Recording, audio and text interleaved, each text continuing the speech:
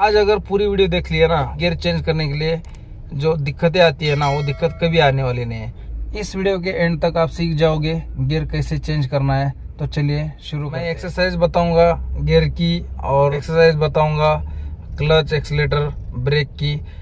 तो नमस्ते दोस्तों ड्राइव विथ विलास चैनल में फिर एक बार स्वागत है। तो दोस्तों आज की वीडियो होने वाली है बिगनर्स भाइयों के लिए जो नई नई गाड़ी सीख रहे हैं उनके लिए होने वाला है। वीडियो को ध्यान से देखना है। तो दोस्तों, आज जानने वाले how to change gear perfectly तो गियर्स कैसे चेंज करते हैं? नई नई गाड़ी सीखने वाले के लिए कंफ्यूजन ये रहता है कि गियर डालू या आगे देखू, गाड़ी चलाओ या गियर चेंज करूँ। कोई कोई भाई लोग क्या करते हैं, गियर डालते समय आगे का छोड़ देते हैं, गियर की तरफ़ देखने लगते हैं। ऐसा नहीं करना है। गियर तो कोई भी चेंज कर लेता है दोस्तों, लेकिन गाड़ी चलाते समय गियर चेंज करने का तरीका अलग होता है। उसके टिप्स और ट्रिक्स आपको बताने वाला हूँ। तो दोस्तों, वीडियो को आखिर तक देखना है। वीडियो पसंद आई तो लाइक करना है शेयर करना है सब्सक्राइब करना है। तो दोस्तों, शुरू करते हैं। दोस्तों, ये वीडियो होने वाली है बिगनर्स भाइयों के लिए, जो नई नई गाड़ी सीख रहे हैं, उनके लिए होने वाली है। तो मोस्टली दोस्तों सारे गाड़ियों में सेम फीचर रहता है गियर का डायग्राम ऐसे ही रहता है। कुछ गाड़ियाँ ऐसी हैं, कुछ गाड़ियों में इस साइड में गियर होता है। वो गियर ऐसे होता है कि कुछ गाड़ियों में नीचे से लीवर उठा के ऐसे करके आगे डालना होता है। कुछ गाड़ियों में ऊपर से नीचे ऐसे प्रेस करके, आगे करके ऐसे डालना होता है। वो गाड़ियाँ रेनॉल्ट की हो सकती है फॉक्स वगैरह पोलो ऐसे कोई गाड़ियाँ हैं। रेनॉल्ड का मैंने तो बताया है, एक वीडियो है मेरे चैनल पे। तो दोस्तों mostly 80 to 90 percent same diagram के हिसाब से ऐसे ही गियर्स होते हैं।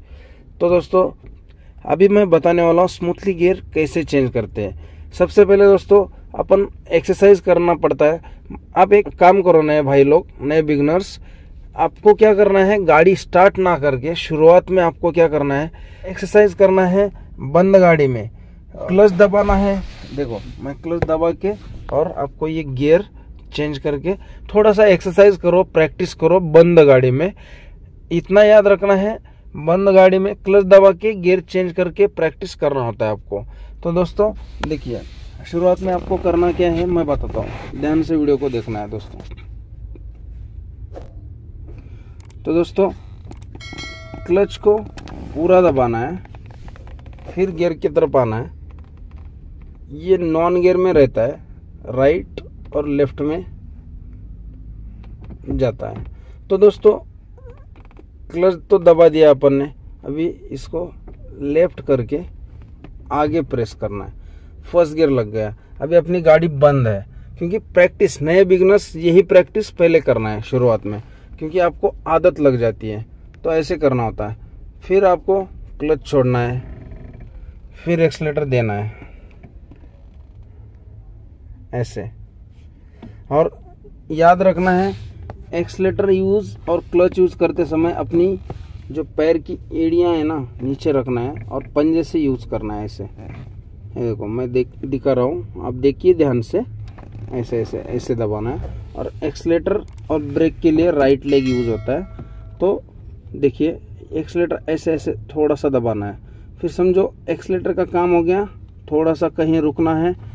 तो अपन को ये क्लच को दबा के फिर ये राइट वाला लेग थोड़ा सा ब्रेक की तरफ़ लाना है। फिर अपन को डालना है अभी सेकेंड गियर तो सेकेंड गियर डालने के लिए अपन क्या करते हैं? एक्सलेटर दबा रहे अभी अपन रनिंग में है तो एक्सलेटर रिलीज़ कर दो। फिर क्लच पूरा दबाओ। फिर सेकेंड गियर डालने के लिए इधर गियर की तरफ़ आना है। देखिए, अभी इसको न्यूट्रल करना है, फिर लेफ़्ट करना है। फिर सेकेंड गियर डालना है। तो क्या होता है दोस्तों, ये प्रैक्टिस बंद गाड़ी में कुछ दिन करो, दो तीन दिन। ये देखो, ये सेकेंड में डाल दिया, फिर से क्लच की तरफ़ आना है। क्लच को रिलीज़ कर दो, हल्का एक्सलेटर दो। ये प्रैक्टिस करना है, ये प्रैक्टिस के लिए बता रहा हूँ आपको। फिर एक्सलेटर दे रहे, फिर अपन को अभी थर्ड डालना है।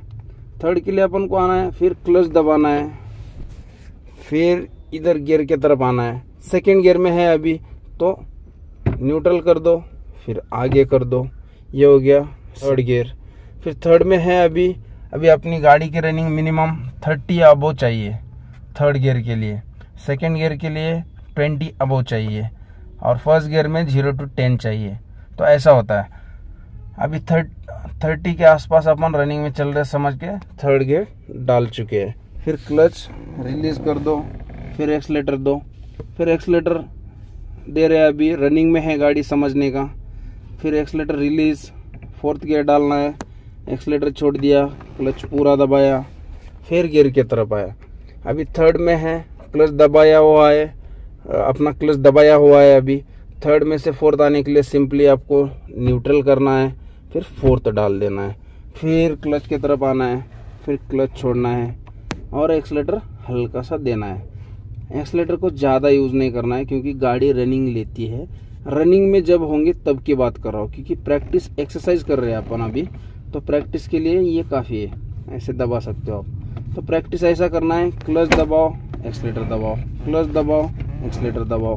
फिर क्लच दबाने के बाद गेयर्स डाल के प्रैक्टिस करना है दोस्तों। कुछ लोगों को ऐसा लगता होगा कि रनिंग गाड़ी में जब अपनी गाड़ी समझो रनिंग में है तो फ़र्स्ट गियर से अपन फिफ्थ गियर में आ सकते हैं क्या? या फिफ्थ गियर में से सेकंड आ सकते हैं क्या? तो सेकंड आ सकते हो आप। क्योंकि ये टू व्हीलर जैसा नहीं है। टू व्हीलर में ऐसा होता है। फोर्थ में होंगे तो फ़र्स्ट में आने के लिए अपन को थर्ड टू करके ही आना पड़ता है। यहाँ पे ऐसा नहीं होता है फोर व्हीलर में। ये देखो अभी अपन फिफ्थ में है तो अपनी गाड़ी सिक्सटी फोर्टी के फिफ्टी सिक्सटी के आसपास रनिंग रहती है। तो क्या होता है? समझो, आगे गतिरोधक आया, कोई ब्रेकर आया या गाड़ी आई तो अपन है फिफ्थ में चल रहे हैं या फोर्थ में चल रहे हैं? तो रनिंग को देखना है। थर्टी ट्वेंटी के आसपास आ गई तो अपन तो है फिफ्थ या फोर्थ गियर में। तो अपन क्लच को पूरा दबाना है एक्सलेटर का पैर पूरा हटा देना है ऐसे और सिंपली अपन फिफ्थ में है तो न्यूट्रल कर देना है सिंपल लेफ़्ट करके। सेकेंड में आ सकते हो दोस्तों, कोई दिक्कत नहीं है। बट सेकेंड में आने के लिए ट्वेंटी के आसपास रनिंग रहनी चाहिए, ये याद रखना है दोस्तों। ठीक है दोस्तों? तो ये हो गया गियर के बारे में। और कुछ लोगों को लगता होगा कि गाड़ी जब रनिंग में होती है, तब रिवर्स गियर लगता है क्या? रिवर्स गियर नहीं लगता दोस्तों। रिवर्स गियर का फंडा भूल जाइए, क्योंकि जब गाड़ी रुकी होती है, तभी रिवर्स गियर लग सकता है। क्योंकि क्या होता है?